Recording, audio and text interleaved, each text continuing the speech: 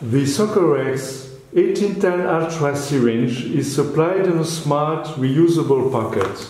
It contains the syringe itself, feed needle, vein cannula, sinker, silicone tube, a small spare part bag with O-ring, O-ring guide and washer.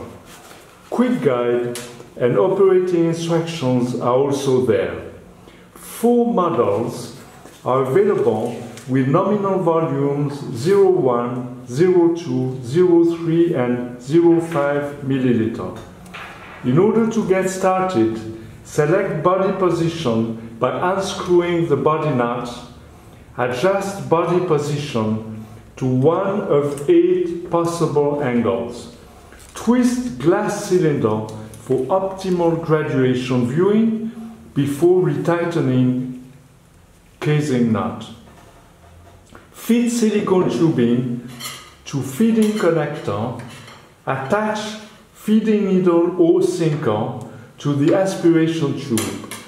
Add high quality injection needle having length and diameter in accordance with animal size and vaccine density. Prime tube and glass cylinder until vaccine comes out of the needle, then eliminate any air bubbles remaining in the glass barrel.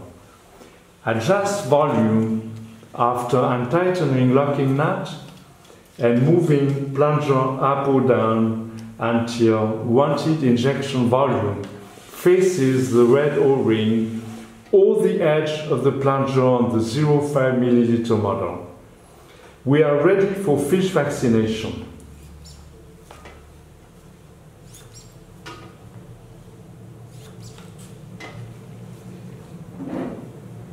Important accessories are available in the form of abacus shot counter as well as a set of fish guide devices intended for easier fish vaccination.